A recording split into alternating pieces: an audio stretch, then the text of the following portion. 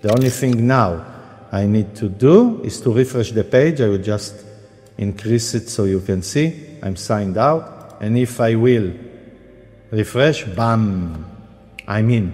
Without a password, I don't need to click anything else. That's how easy it is. Hey everyone, I'm Yaniv Hoffman, and in today's quick but powerful video, we are going to dive into one of the sneakiest ways hackers can access your online accounts. It's called session hijacking, and I will show you exactly how it works with even a short eye-opening demo, I promise. But first thing first, what is session hijacking? And session hijacking is when an attacker takes over your active session on a website without needing your password.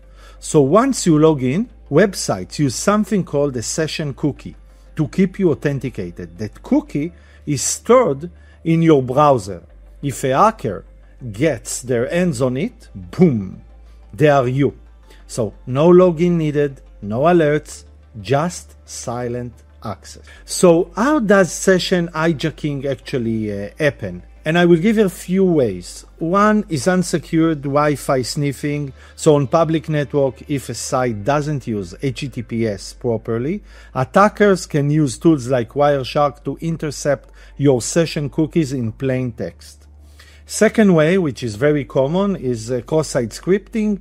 So if a website is vulnerable to cross-site scripting, an attacker can inject malicious JavaScript to steal cookies directly from your browser. And last but not least, malicious browser extensions. So some shady plugins can quietly access your cookies and send them to remote servers, giving attackers a free pass into your accounts.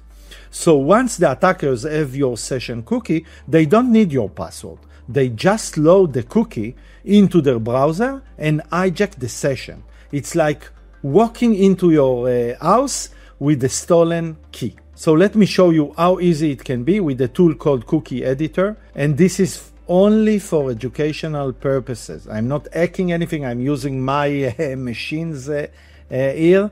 So I want to show you how it can be done. So don't try this on any site you don't own or have permission to, to test. So first and foremost, I will do it on Chrome. Let's use, for example, Netflix as an example. It can be anything that you want. And you can see I'm already in. Okay, let's reduce that. Let's go to a different browser in Firefox. I go also to Netflix. Here I'm out in the Chrome. I'm logged in.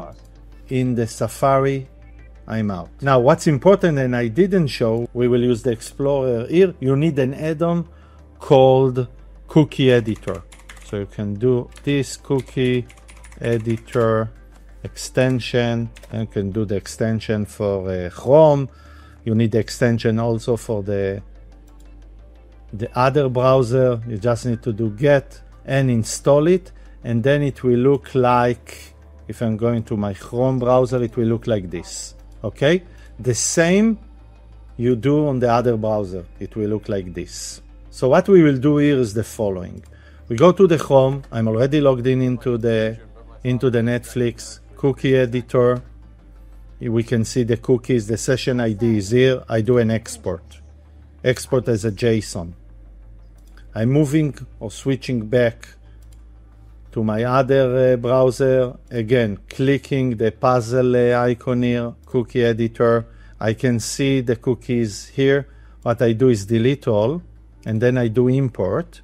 And into the import window, I will paste the cookies I exported from the session I was logged in. I do an import, and that's it. The only thing now I need to do is to refresh the page. I will just increase it so you can see I'm signed out. And if I will refresh, bam, I'm in. Without a password, I don't need to click anything else. That's how easy it is. Okay, so session hijacking is real and it's dangerous, especially if you are on public Wi Fi or don't use secure HTTPS connections. So to protect yourself, always log out of sensitive session.